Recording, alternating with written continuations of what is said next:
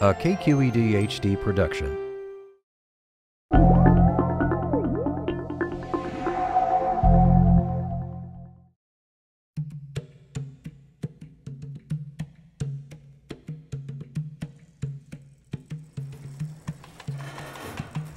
As Associate Curator of Entomology at the California Academy of Sciences in San Francisco, Brian Fisher has millions of the world's insects at his fingertips. And for him, that's still not enough. Since 1992, he's made annual treks to Madagascar, a large island off the east coast of Africa, to collect as many species of ants as possible in the country's last remaining virgin forests. So I started working in Madagascar, one, because it's a highly threatened environment. About 90% of the natural habitat of Madagascar has already been destroyed, but 10% is left. And that 10% harbors a highly unique fauna, highly unique insect. In fact, 99% of the ants found in Madagascar are only found there. So we went there trying to do an inventory of all the ants and other insects. But to my surprise, the first years we began discovering a high number of new species. In fact, now we've discovered over a thousand new species of ants. Sure, lots of people consider them pests, best squashed or wiped out with insecticides. But did you ever wonder what the world would be like without the lowly ant? To have the ecosystem function, we need the insects. I say ants are the glue that holds a forest together. Ants are important for recycling soil. Ants are also like the vacuum cleaner. They find every little dying insect and they clean it up and eat it and recycle that nutrients. In other words, ants are important in the brown cycle. That's right, the brown cycle, the process by which organic matter decomposes and nutrients are cycled back into the ecosystem. Imagine a city without garbage collectors. Likewise, without these tiny sanitation engineers, most terrestrial habitats would shrivel and die. So it's a very good thing there are so many of them. We share the planet with an estimated 30,000 different species of ants. Ants are clearly successful. They dominate in terms of like biomass. In fact, if you put all ants together on Earth into a big pile, they'd weigh about as much as all humans together. I mean, they're out there. And like humans, when ants move into a new environment, they are capable of shaping and changing it to their liking.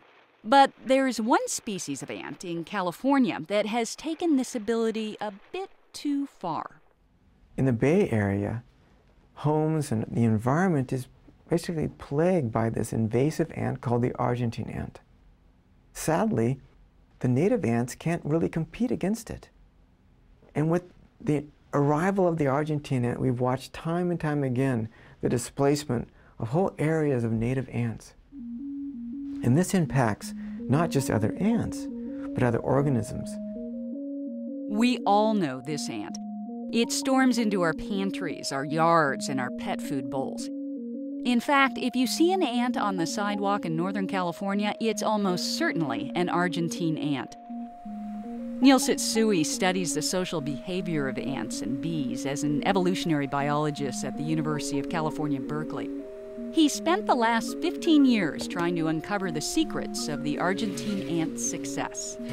Here in California, Argentine ants range from um, about an hour north of San Francisco all the way down to the Mexican border and beyond. And they occur uh, very abundantly in coastal areas in the Central Valley um, and at very high densities in these parts of their introduced range. This innocent looking little ant is believed to have arrived from South America to New Orleans in coffee shipments in the 1890s. A few years later, it reached California. And in the century since, it's eliminated virtually all the native ant species in its introduced range. I mean, one of the best illustrations of the impact of Argentine ants on many different members of an ecosystem is uh, the coastal horned lizard in Southern California. It turns out that the coastal horned lizard eats only a few native species of ants. And so Argentine ants invade, the food of the lizard disappears, and so the lizards in turn disappear. In order to figure out how to control this insidious invader, Tsutsui focused his research on the ants' unusually hospitable behavior toward Argentine ants from neighboring colonies. Most species of ants form colonies that are spatially restricted and they fight with other colonies of different species, but especially against other colonies of the same species. And so they're what's called multi-colonial. But Argentine ants here in California are very different and very unusual for ants in that they form what are called supercolonies. So you may have many different nests where Argentine ants live, but they're all cooperative with each other. They don't fight with each other, and not only that, they'll exchange food and they'll exchange members. And as a consequence, Argentine ants achieve incredibly high population densities. But why are the invasive Argentine ants so friendly to Argentine ants from neighboring colonies? It turns out they're all wearing a similar uniform. In ants and other social insects, they use these waxy chemicals on their exoskeleton as signals for who's a member of their colony, who's not. They essentially have labels on their bodies that can be smelled and that can be used to identify the colony identity that each worker comes from. Tsutsui and his team were able to identify the specific chemicals that Argentine ants use to signal to each other that they're kin. They found that by changing an Argentine ant's external chemical uniform, they can turn a formally friendly relative into a potentially threatening intruder who is quickly drawn and quartered by the other members of the colony. Tsutsui hopes to use this discovery to develop non toxic insecticides that will convince members of the same colony to attack each other. Ultimately, what we would like to do is develop a way to turn the Argentine ants against themselves. We could selectively target Argentine ants and hopefully leave everybody else in the ecosystem unharmed. While Tsutsui works to control the intruders, Brian Fisher seeks out the last remaining populations of native ants in the Bay Area. This is a great habitat. Here we are on the coastal bluffs, a little secret refuge for the native ants of San Francisco. And uh, we're just gonna pull over some stones and look for ants. Try these stones here.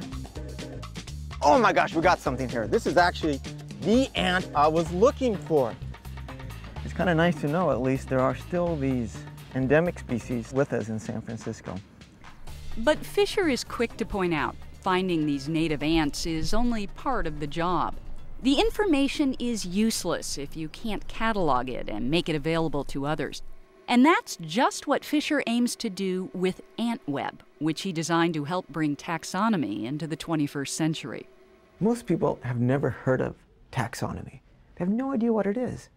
In brief, it's the people that go out, find new species, describe them, and give them a name. So taxonomists need to get their information out. And with AntWeb, we basically are digitizing everything we know about ants. And in addition to that knowledge, we're adding beautiful images of each of those species. Hey, Aaron, it's your lucky day. We got some local ants to image right from the Presidio.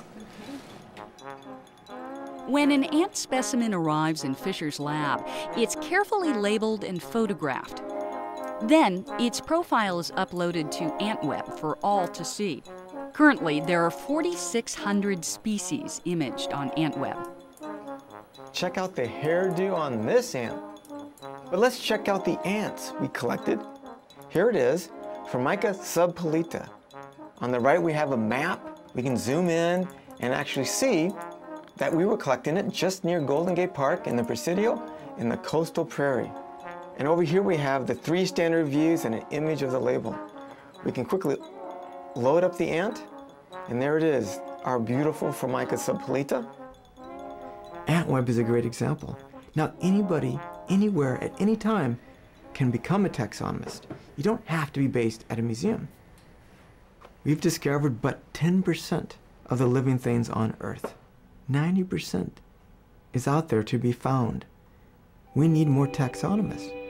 Unfortunately, it doesn't seem that people are beating down the doors to higher learning institutions to become taxonomists. So Fisher has recruited some pint sized partners to help with his research. So, where do ants live? You gotta think like an ant. So, if you were an ant, where would you hide here? where? In the dirt? Like In the over dirt? there? There's no way I alone could go and visit everybody's backyard, every corner, every county, and find out what's out there. We created the Bay Area Ant Survey. Anybody can go out and collect ants and submit it to the California Academy of Sciences.